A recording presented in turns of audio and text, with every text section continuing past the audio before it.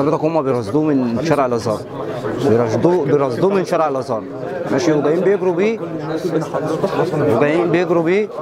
ماشي هم هم بيجروا بيه.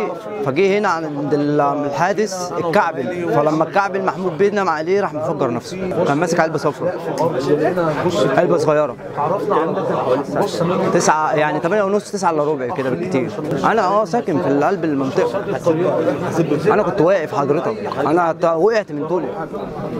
أنا كنت واقف وقعت من طولي. آه وهم بيجروا وراه ما أنا من الجارية بتاعتهم أنا اتخضيت. فلما قربوا عليه ولما اتكعبل هنا راح واقع راح مفجر نفسه. الإنسان اللي هو دخل فجر نفسه دوت كان في ثلاث أمناء وظابط. ات- اتصابوا واخد بالك؟ فإحنا لما سمعنا الانفجار أنا ورشتي بتاع صدف انتجات خان الخليلي قبل الانفجار بشوية. فجرينا فكر جرينا فكرنا أنبوبة وكده. لقيت ناس نايمة وهو الأمين. جري وراه واخد بالك؟ وراحوا جايين مسنودين إيه؟ واخد بالك؟ عليه. فلما استند عليه واترمى عليه راح منفجر موت إيه؟ اتنين أمناء واخد بالك؟ يعني إيه إصابة جامدة. فلقيت إيه؟ اللي رجله طايرة وكده والإنسان ذات نفسه دوت متصاب يعني متفرتك خالص. والحمد لله إن هو لأنه كان داخل على خان الخليلي. دخل على هنا هروبا منهم يعني. وهم رصبوه. الضابط مصاب وال وال والضحايا من الأمناء ومنهم آه منهم الأمين محمود دوت إنسان محترم جدا يعني في الدرب الأحمر هنا كلنا نعرفه. والشرطة كلها يعني طبعا إيه كتر خيرهم إن هم رصبوه لأن لو كان دخل الخان كان كان حصل بهدلة جامدة. ففي منطقة شعبية إحنا نقدر نتحمل غير السياحة وغير الأجانب وكده. فالحمد لله يعني إن هو إيه واخد بالك انفجر وإحنا إيه واخد بالك وربنا يرحم آه، المتوفيين. وياخد بيد المتصابين لأن ده, ده مؤذي وحسبنا الله ونعم الوكيل فيه.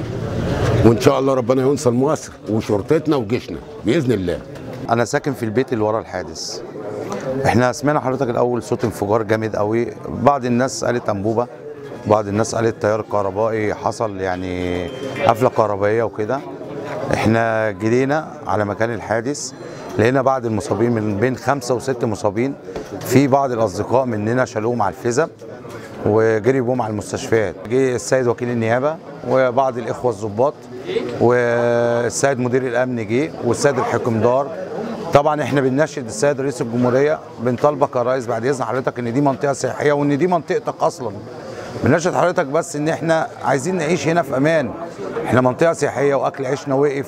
وطبعا إحنا ملناش مصدر رزق غير إن إحنا نقعد هنا وأكل عيشنا هنا.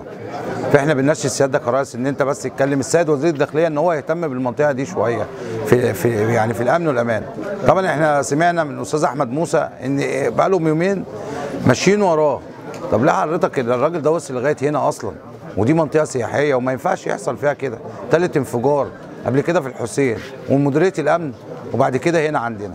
طبعا إحنا عندنا السياحة أصلا يعني الاقتصاد فاحنا بنناشد سيادتك يا ريس ان انت تشوف لنا وضع في الموضوع دوت. وربنا يرحم الشهيد محمود ابو اليزيد.